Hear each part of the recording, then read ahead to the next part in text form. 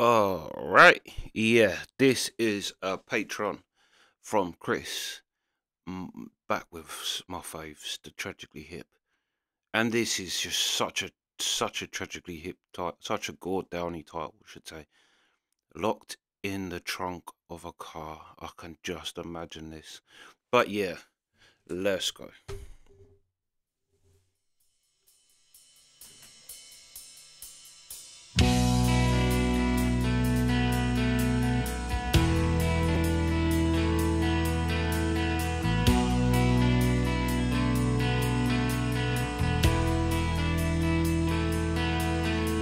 I don't know how old I am.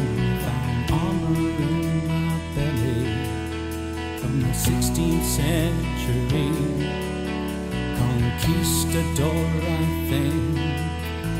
They don't know how old I am. Found armor in my belly. Passion out of machine revving tension. Lashing out at machine revving tension.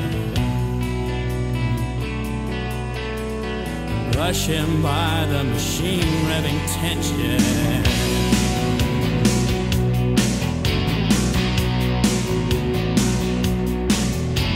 Morning broke out the backside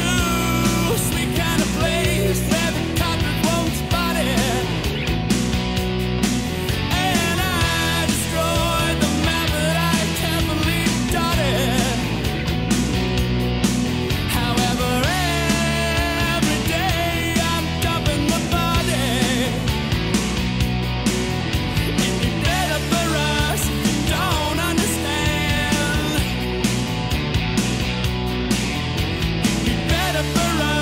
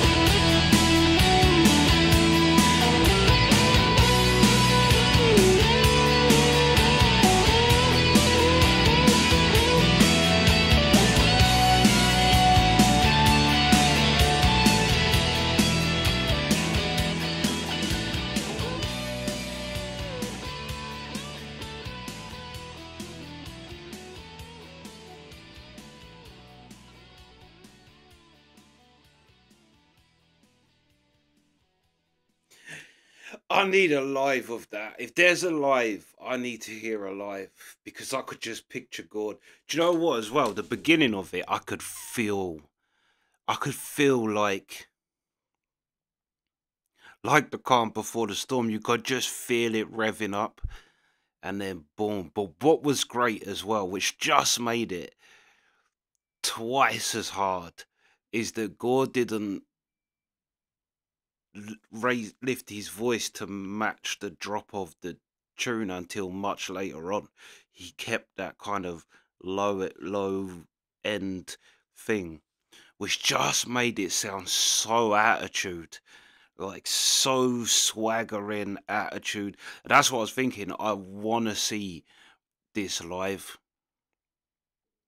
because yeah, and then obviously once you get to the end and boom, he takes off with the like like how he normally sings.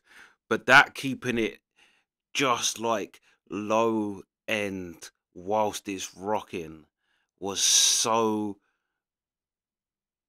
it just gave it so much attitude because it was like he was so relaxed but the tune is like blasting behind him do you know what i mean yeah, this was a well, as I say, um, there's certain people that uh, it wouldn't really matter what they did. I'll still say that they're good. Tragically, Hip falls on that list, but I thought this was fire.